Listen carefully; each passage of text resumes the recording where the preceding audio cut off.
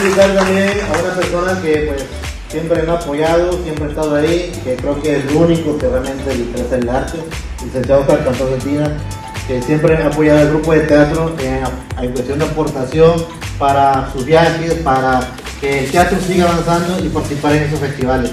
Licenciado está por aquí.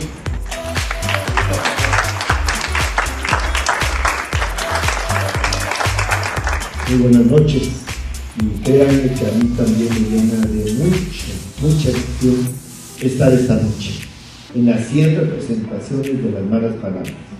Cinco años en que Alex de la Cruz me tiene cansado de estarme contando la historia, de estarme invitando a las representaciones y hablándome de Ángela, de Angie, para nosotros Angie Trujillo.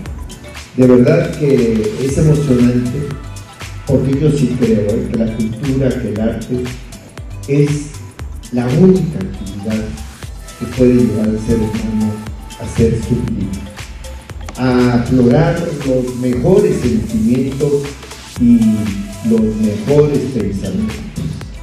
Yo estoy seguro que el arte, y en este caso el teatro, está siendo un vehículo, un instrumento de que llegue la humanidad a mejor puerto.